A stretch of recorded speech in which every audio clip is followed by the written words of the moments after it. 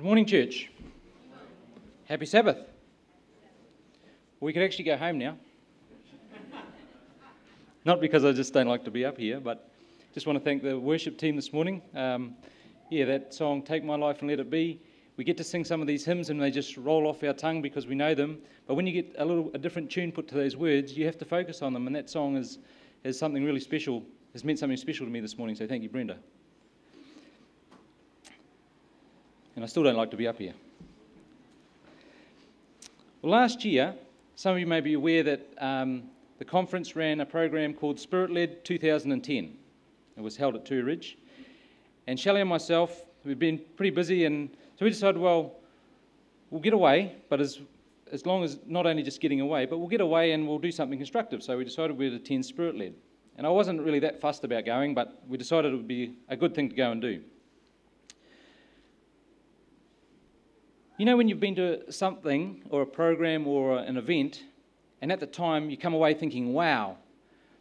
But about two months later, it's just a, me- a memory. You might have one or two points, but it's just a memory.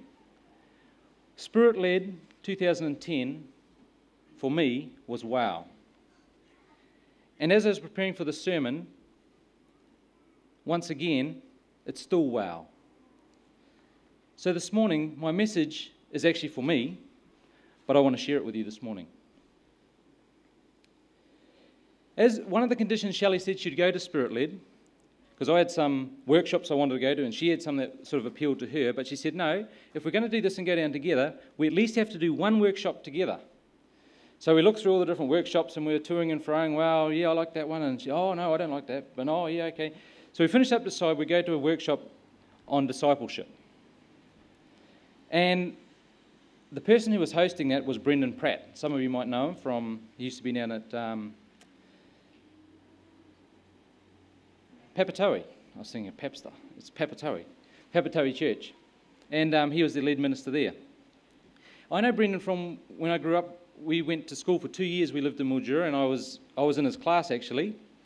And Brendan is a pretty intelligent sort of person. He's the only person that I know of with a Rubik's Cube, you know, the old traditional Rubik's Cube, you could mess it up as much as you want, and within eight seconds, without fail, he'd have that back, back to 100% again.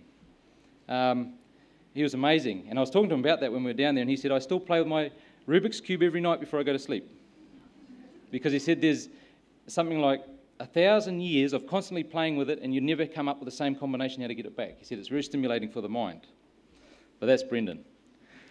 Anyway, part of the going to that was I know what Brendan's like, and he, he speaks. I'm, I'm a very down to earth, very base line person when it comes to, to understanding and to, and to grasping things. And I know Brendan speaks at sort of a different, different level a little bit at times. So I went with a little bit of apprehension, but it was amazing.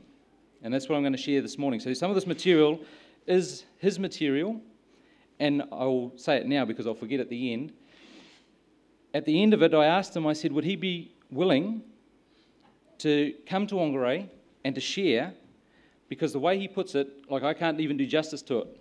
Um, it's actually a five, five uh, night or five session program that he cut down to one day and then cut down to a two hour session for the for our workshop, and I'm going to do this into half an hour. So I'm, it's just a very brief snapshot of what I'm giving. And he said, I normally wouldn't, I've, he said, I've turned down lots and lots of offers to go places because his job at the moment is working with churches in the Sydney area um, going through growing discipleship and growing healthy churches. And he said, if one place I was going to say yes to would be Whangarei, and he said, and if the church is interested, he would, look, he would be prepared to come here and run a, a five day program for us, the full program. I was, if I don't say that now, I'll forget at the end. All right, we'll just have a word of prayer. Heavenly Father, Lord, I just ask that you'll come be with us now at this time. Lord, just empty me of self, Lord, and I just ask that the message you have for me, Lord, will be shared to the rest of these people in this congregation, Lord, our church family. And Lord, may we leave here with at least one thing we can use in our lives to reach our neighbours, our friends, and to better our relationship with you, Lord. I just thank you and praise you. Amen. Now, we're not going to have a children's story because I'm going to give you some of the older children later on. Is there any younger, any young children here? Because my wife, there is. So my wife's going to come down now with some a bulletin. She's made up a special bulletin that goes along with our sermon, so it gives you something to do because sometimes when big people talk, it gets a bit boring. I'm going to try and keep it simple and, and interesting, but you never know. So my wife will be coming around with that. Growing in discipleship. Discipleship. What was Jesus' command to us, his last command that he gave to his disciples as he was ascending? Therefore, go and make disciples of your neighbour, of all nations, everybody. Okay. Was that just something he said on the side, or was that a command? That was a command. Jesus commanded us. My question is, what is a disciple? And this is what Brendan, the first question Brendan threw at us. There was a group of about 15, I think. What is a disciple? Follower of God, that's what I said, someone who imitates Christ. We had a, a few different scenarios. He said, Yep, that's all correct. What is the purpose of a disciple?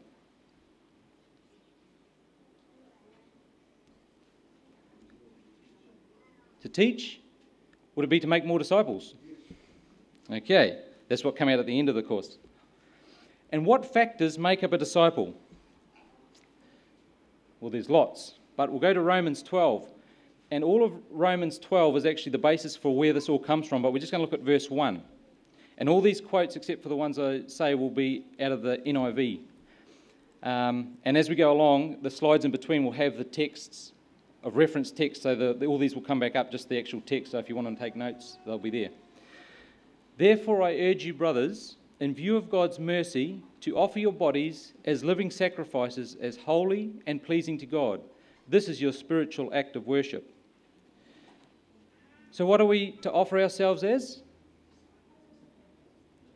Living sacrifice. So, do you think that's just part of you or all of you? All. Okay, a living sacrifice is all. It's our total being. And as you go through the rest of Romans 12, it breaks down as to what that actually means. What a living sacrifice looks like. And that's your homework for this afternoon, you big people. In be- between lunch and the prophecy seminar, that's your homework. Go through Romans 12. But I want to put it this way this morning. Now, you all, most of you have a filing cabinet, do you not? At work, at home, in the office? Okay, you can get all sorts. You can go to the warehouse, you can get the one drawer, three drawer, or two drawer, and five drawer. This morning we're looking at a five drawer filing cabinet. Okay? So you've got five drawers.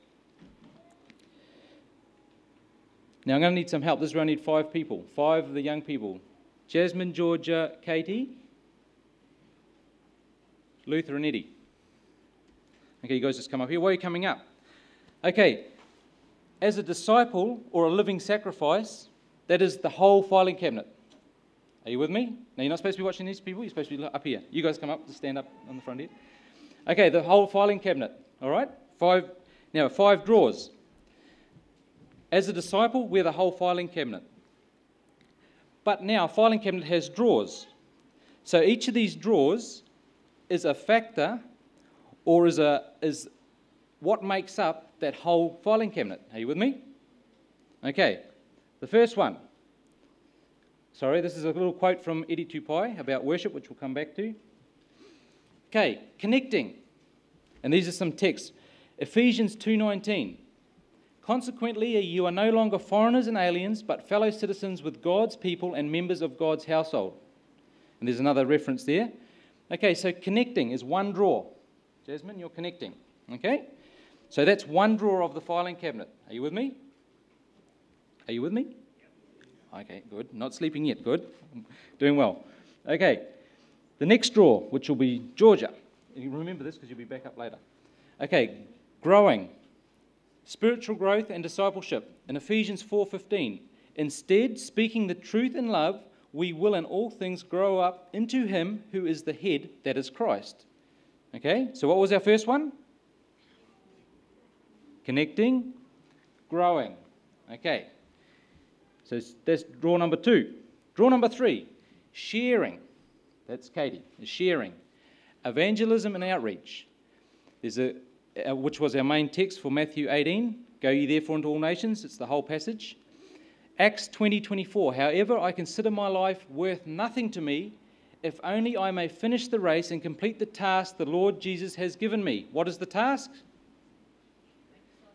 testifying to the gospel of God's grace, making disciples. Okay, Luther, serving, and we're going to look this text up in Ephesians 4 11 to 13. Serving is part of the body of Christ. You're serving. Okay, Luther? All right. Ephesians 4, verse 11 to 13. It was he who gave some to be apostles, some to be prophets, some to be evangelists, and some to be pastors and teachers, to prepare God's people for works of service, so that the body of Christ may be built up, until we all reach unity in the faith and in the knowledge of the Son of God, and become mature, attaining to the whole measure of the fullness of Christ. Serving. And our last one is worshipping, individually and corporately. Romans 12, once again, comes back to our where this whole, whole piece comes from. And Psalms 27, which I'm going to read to you from out of the message because it, it just it's, it's beautiful language it uses for this particular text. So Psalm 27.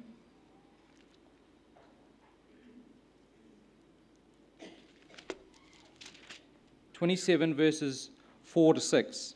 I am asking God for one thing and one thing and only one thing to live with him in his house my whole life long. I'll contemplate his beauty, I'll study at his feet. That's the only quiet, secure place in a noisy world, the perfect getaway, far from the buzz of traffic. God holds me head and shoulders above all who try to pull me down. I'm headed for his place to offer anthems. Already I'm singing God's songs, I'm making music to God. And the message from our president the number one reason for our existence is to worship God. We were made, saved, and will be recreated to worship. It's a pretty powerful statement. So, as we just go through this again, we have the draw one, connecting, draw two, draw three, sharing, Draw four, serving. And draw five, worshipping. Okay, you can just go sit down, but don't go too far away. You'll be back later in the sermon. Got to give them exercise. They want to. Don't complain they do enough on Sabbath.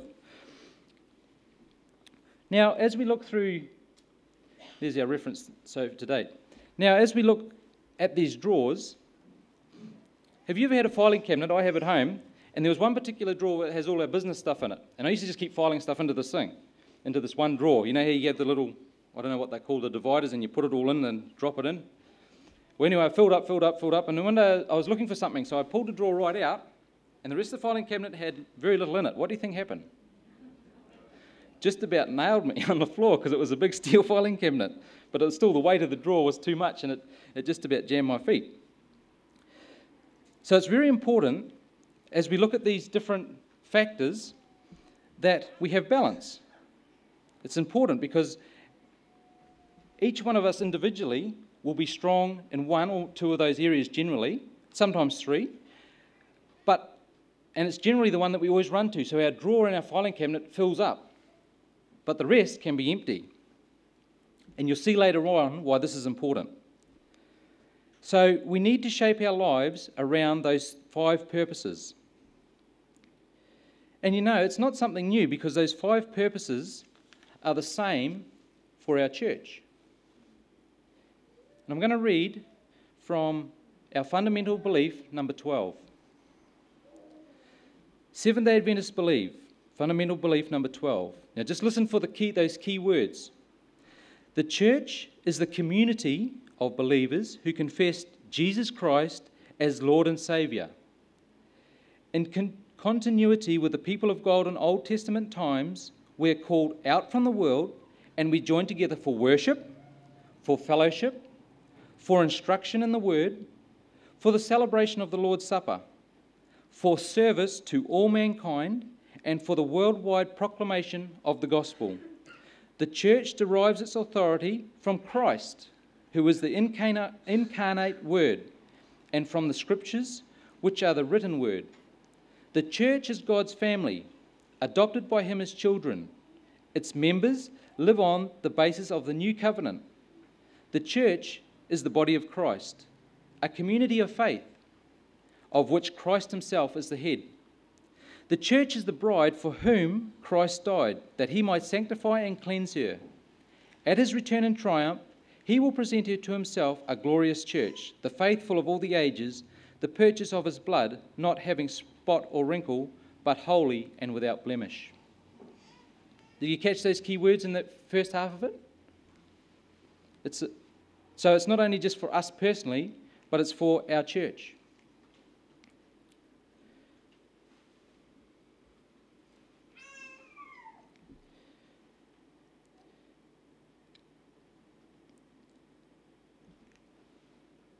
So we need to start to think of a way that think of how we can implement these factors.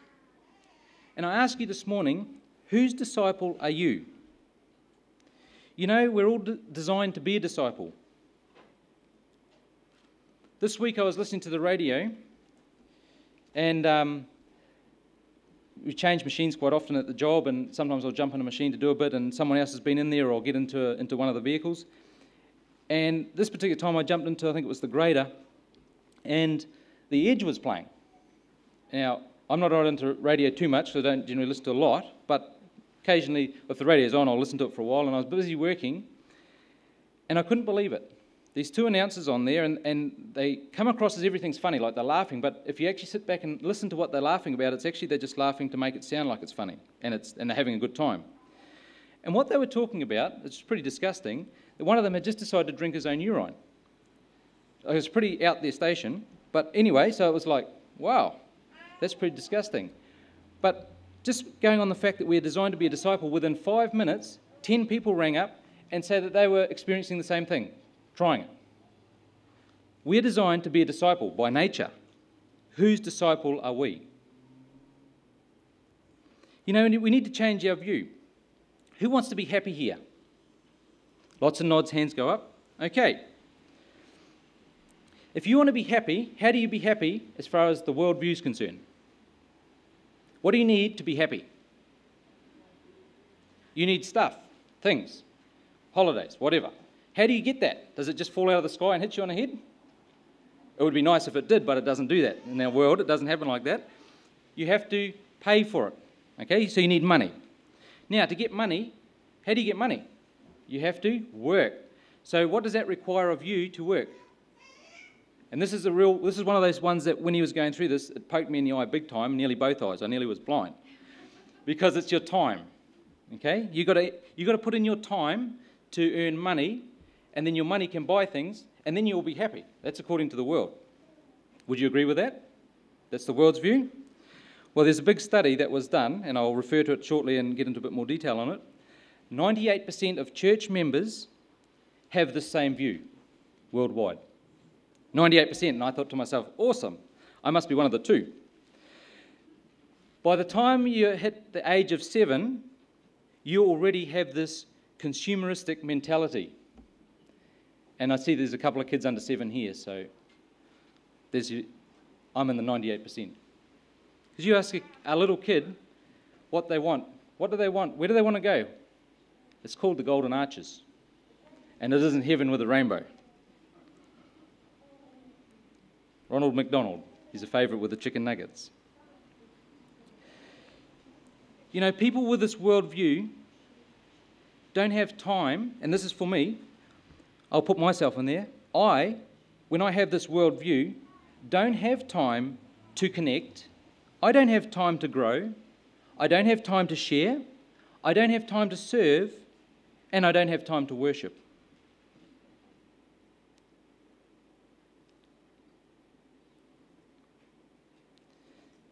These purposes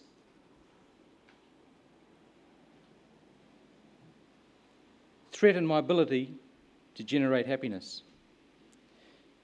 You see, if you think about it, if we have the consumer mentality, consumerism is heading this way, where do you think community is going? Because we have no time. But if we switch that around and make time for our community or should I say, if our consumerism mentality is not such important to us, our community becomes important and it's on the increase.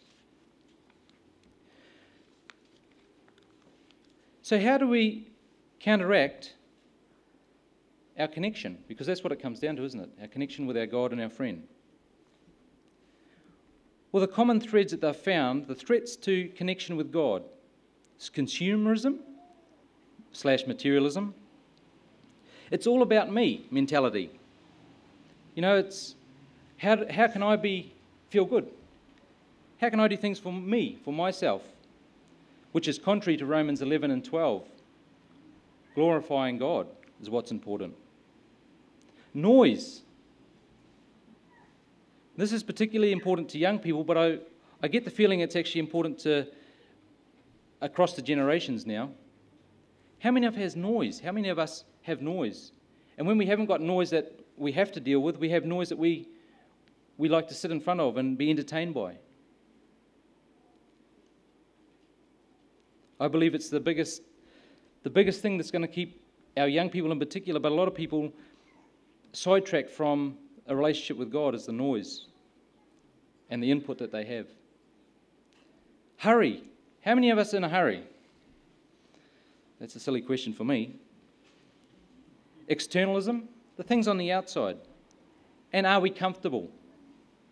These are things that are, that are threats to our connection. There's a lot more, but these are the, basically the, the categories that you can, you can put them into. You know, we need to mould our lives around practices and habits that will, will remind us of what matters and gives God space to work in us. We have to have intentional commitment. You know, I think sometimes, I know for me, I get into this pattern where I'm just drifting along. It's easy to drift. But we have to, instead of drifting, we have to decide. We need to focus on some heart building habits. And if you've ever read Psalms 46, it's a busy psalm, actions happening. And in the middle of it, God says, Stop! Just be still. He doesn't say, Know that I am God and be still. He says, Be still and know that I am God. Spend some time in solitude. I have the, the fortunate, well, whichever way you want to look at it, but I think it's fortunate. Sometimes in the middle of the night when I'm out there working on the machines and I have to hop off a machine and go to another one and I switch this one off and walk across and it's maybe 2 o'clock in the morning or 3 o'clock in the morning and I'm walking across and the stars are out and it, two weeks ago it was like that. I swear I could have just about reached the Milky Way. It was that close, just the, my perception. And I stopped for a moment and thought, how awesome God do I have that will put that in the sky for me? I don't care if no one else is awake, but I'm, I'm awake and I can appreciate it. He did that just for me. Solitude. And it's nice when the, everything's quiet, just occasional cicada or something you can hear from the distance, but it's quiet. There's nothing like it. You know, spend time in worship as a church collectively, but also as individually. In prayer. Spend time in the scripture, and as a doing some studies with my neighbour, with, with Adrian, where it's becoming evident. We, we go to do the study, but I sit there and don't say anything, and I'm getting just as much a blessing as my neighbour from what Adrian's saying, and it's becoming real evident of how important the scripture is. We take it for granted. We don't put enough emphasis on the, on the word because this is the revelation of Christ. We take it a bit for granted. Fellowship, church lunches are the best and service to others. You know, heart building habits in themselves will not earn God's favour. This is an important point. You already have His favour. Keep in mind that these heart building habits do not save you, they are not a pursuit in themselves. They are able to help us grow towards the life God desires for us and from steps to Christ, many have an idea that they must do some part of the work alone.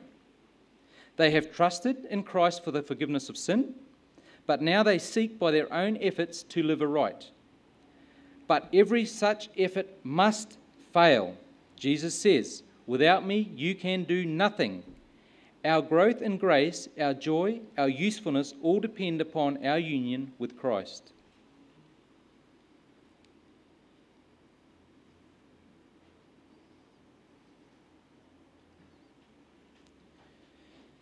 So, what we have become aware of this morning, how does that all fit together in our walk as individuals, as our walk as a church, and as in our walk to reach others and in their walk? So, I'm going to ask my five volunteers, or delegated ones, back again, plus another four. So, you usually thought you missed out Samuel, Matthew, Brianna, Jamie. Four. And I'll bring Ashley up too. Okay. This is going to take a little bit of coordinating here.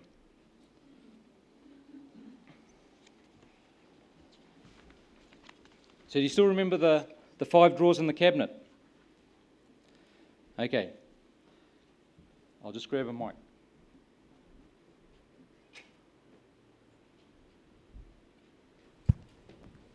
Okay, I want you five just to stay there. Now, you others, I want you to come across here. I want Ashley, no one will see you, Ashley. Come over here, Ashley. Right over here. Okay, I want you to stand right at the end.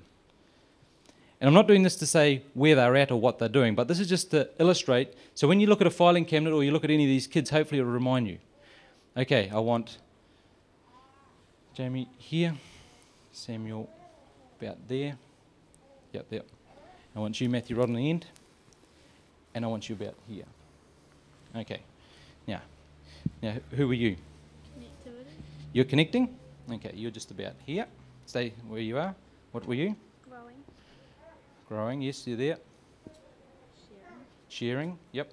Serving. Serving. Worshipping. Okay, worship, you just come with me.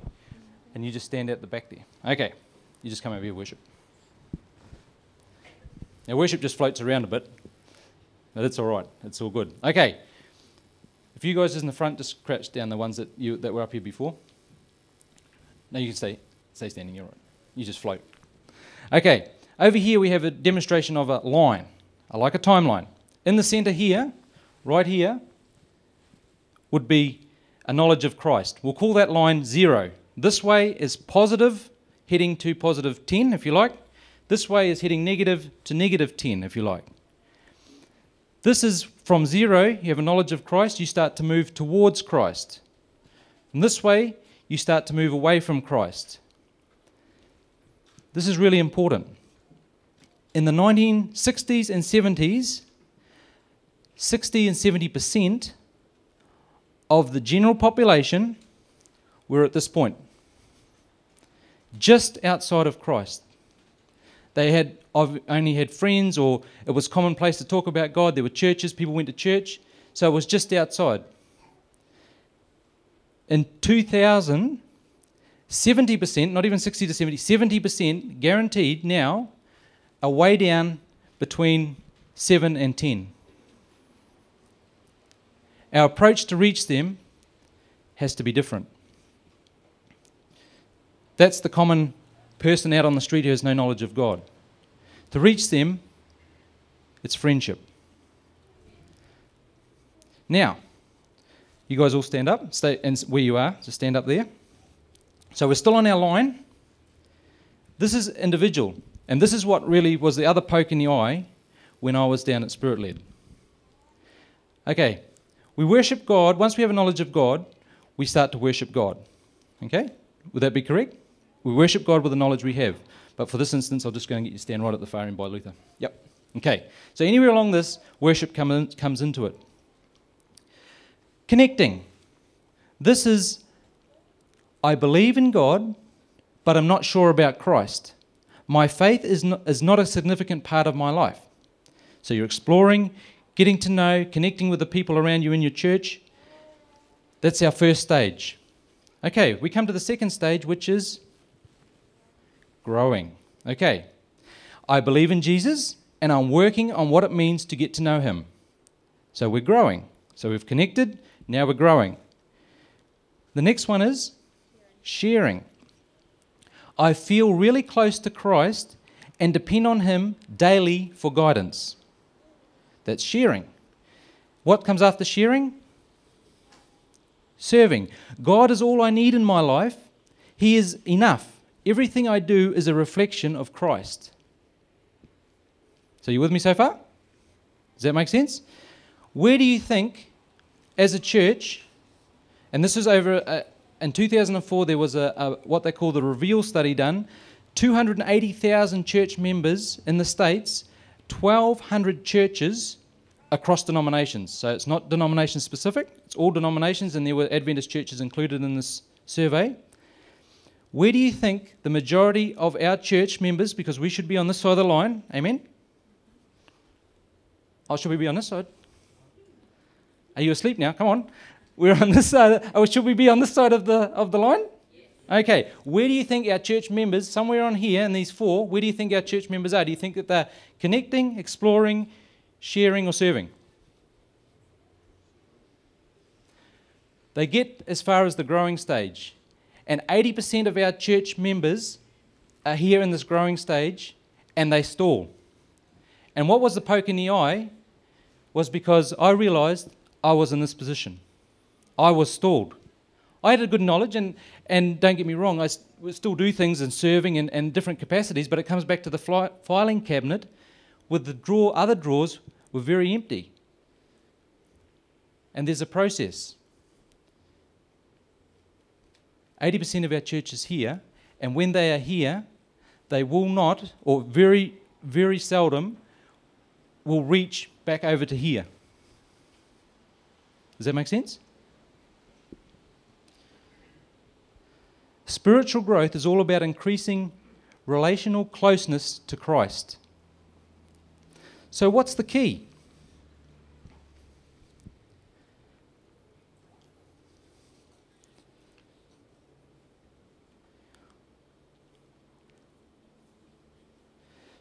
Personal spiritual practices are the central building blocks for a Christ centered life and a life of discipleship. Do you want to be here or do you want to be out here? Okay, you guys can all go and sit down.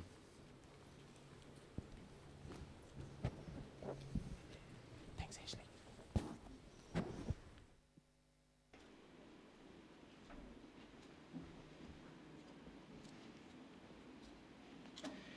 Many churches work from a model the more a person is far from God, participates in church activities, the more likely it is that those activities will produce a person who loves God and loves others. Sorry, that G should be a capital. Many churches work from a model, and this is from the survey again. The more a person is far from God, so the further they are from God, and they participate in church activities, the more likely it is that those activities will produce a person who loves God and loves others. Church activity alone made no direct impact on the growing of the heart.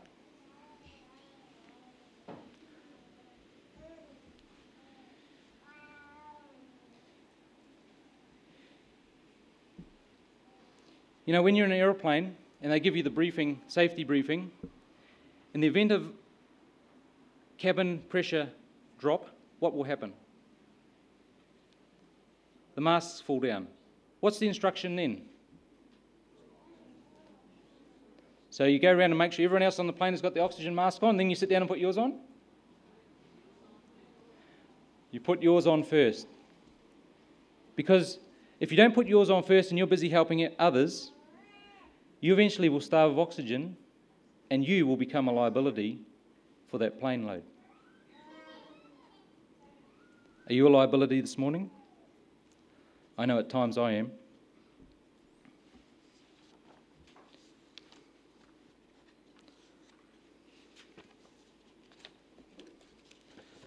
I want to read a quote from Steps to Christ as we're closing. It is true that there may be an outward correctness of deportment without the renewing power of Christ. The love of influence and the desire for the esteem of others may produce a well ordered life. Self respect may lead us to avoid the appearance of evil. A selfish heart may perform generous actions. But by what means shall we determine whose side we are on? Who has the heart? With whom are our thoughts? Of whom do we love to converse? Who has our warmest affections and our best energies? If we are Christ's, our thoughts are with Him, and our sweetest thoughts are of Him.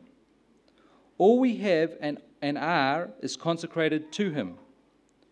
We long to bear His image, breathe His Spirit, do His will, and please Him in all things.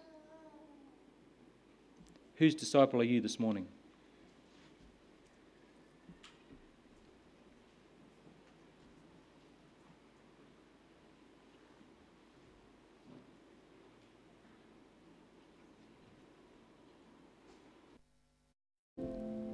Bow your heads. Start this prayer out of Romans 12. So here's what I want to do God helping you. Take your everyday, ordinary life, your sleeping, eating, going to work, and walking around. Place it before God as an offering. Embracing what God does for you is the best thing you can do for Him. Don't become so well adjusted to your culture that you fit into it without even thinking. Instead, fix your attention on God. You'll be changed from the inside out. Readily recognize what He wants from you and quickly respond to it. Unlike the culture around you, always dragging you down to its level of immaturity, God brings out the best of you, develops well formed maturity in you. Lord, we need you. As a church, Lord, and as individuals, I ask, Lord, that you will give us enthusiasm to spend time with you, Lord, getting to know you better. Refocus our lives, Lord, so that we will be enthusiastic to want to reach out to others, Lord, and follow the example you set for us, Lord. We need to become disciples after your kind, Lord, and to a stage where we want to serve and, and overflow, Lord, so that we will reproduce more disciples for you, Lord. You are coming soon, and we need to be ready. Be with us, Lord. I just want to thank you and praise you. Amen.